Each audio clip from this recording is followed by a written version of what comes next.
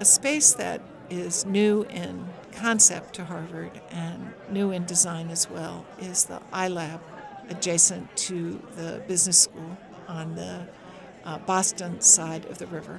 It's a space that is intended to be for all of Harvard, and it's a space that's designed for invention, creativity, entrepreneurship, for people to come together to pursue bringing ideas into the public realm, either commercial or, or nonprofit, to seek the advice of venture capitalists and intellectual property lawyers who come and consult and offer classes and offer consultations to groups of students who join together to advance their ideas and bring them into a form where they can make a difference in the world.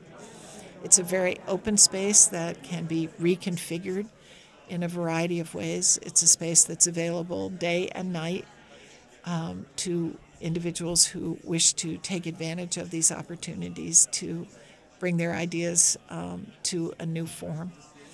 And I think it's a space that has marked a departure from Harvard into a realm of entrepreneurship that wasn't present here in the same dimensions that the iLab has enabled and fostered over the years since it came together. So I love the one Harvard part about it.